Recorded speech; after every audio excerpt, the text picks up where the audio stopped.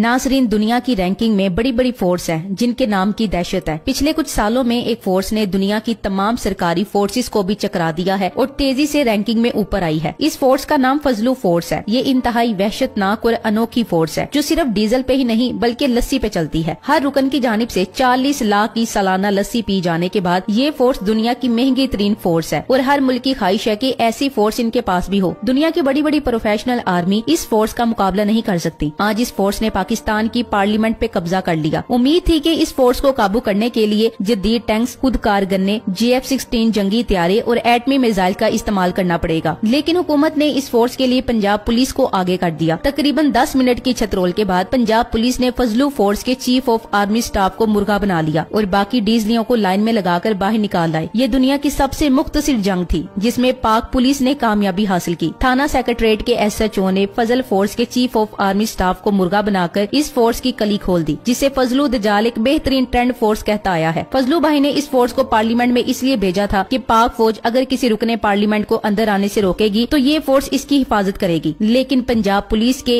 एक दस्ते ने इस सारी फोर्स को ओंदा लिटा दिया फजलू भाई पहले ही गुस्से में है कहीं इस नाकामी के बाद वो बंडोल पीकर खुदकुशी न कर ले थैंक्स फॉर वॉचिंग अल्लाह हाफिज